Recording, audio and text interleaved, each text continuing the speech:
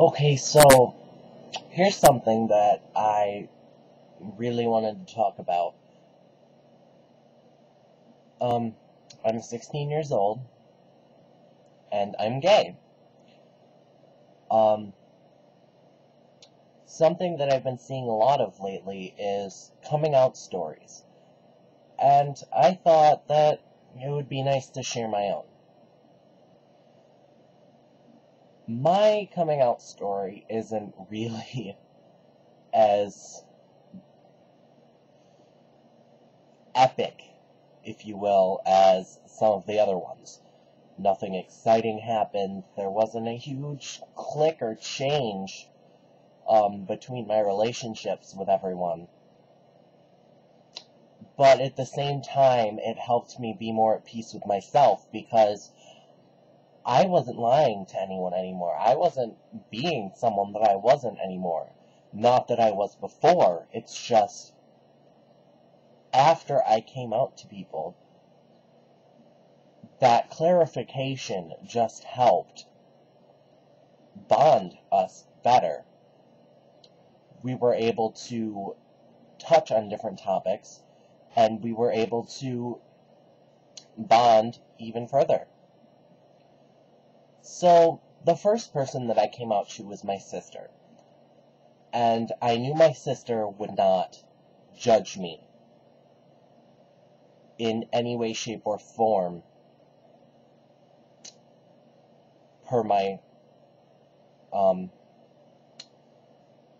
orientation because she's a very open person, she's a very accepting person, and she does have a lot of gay friends, lesbian friends, um, and all that, and she goes out a lot, she knows a lot of people.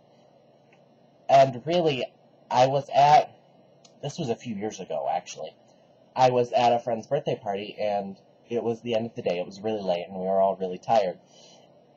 And my mother was talking to my friend's parents, and it was just my sister and I sitting alone in the car. And I said, Whitney, we need to talk. There's something that I really want to tell you. And I explained to her that I felt much more strongly for men than I did for women. And that I was kind of in a moment of stress, I didn't know what to do. Um, I knew there were people like me, but I wasn't sure the best way to let it be known who I really was. And she really looked at me and she said, Andrew, no matter who you are, all of us will love you. You should know that. You're my brother your mother's son, your father's son. You are our family. And that will never change. And it really, really changed things between my sister and I. We, like I said, we can touch on so many different things now. And any kind of awkward air that was there before just isn't there now. Of course, there are still moments, and we still have disagreements, and we still have little brother sister brawls, but other than that,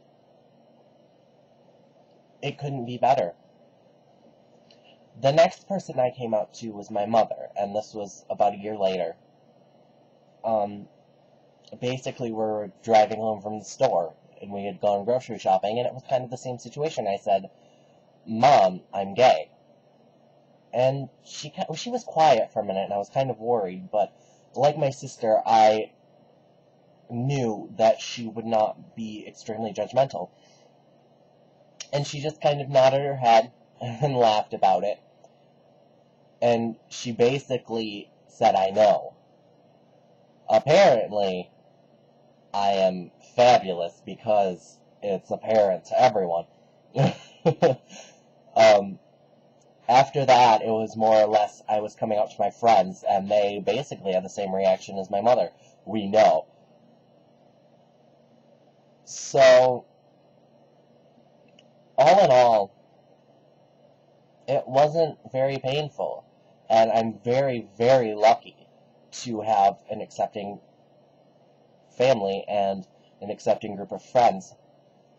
Finally, most recently, it was not extremely recent, it was about a year ago, I came out to my father, and he, like my mom, was alright with it.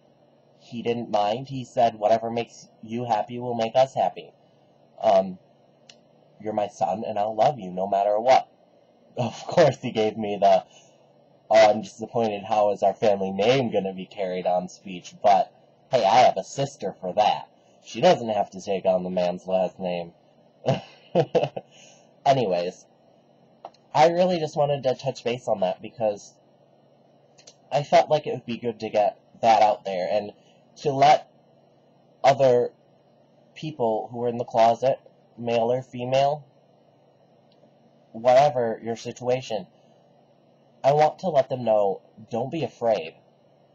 People will judge you no matter what. People are always judging you. But you have to love yourself for who you are, and you have to give people the chance to love you back and not be so worried about what they think. I will say this, though. I knew that nothing detrimental would happen when I told my family. If you're unsure, or if you have parents or friends who are homophobic, very gay bashing, things like that, or highly religious and don't accept those things, and I'm not saying that religious people do not, it's just there are a lot of close minded people in the world. If you think you have an inkling or you know something detrimental could happen if you come out to people, I would wait until you're on your own. Until you are established in the world and you can fall back on yourself without worry. Um, really, more importantly than letting that out of the closet is to make sure that you stay safe also still being yourself. So, that's really my whole story. Like I said, it's nothing epic. nothing exciting happened. Nothing really bad happened. But lots of good happened. So, I just really wanted to share that with all of you. And I will also hopefully be making more videos in the future. Thanks, guys. I'll see you later.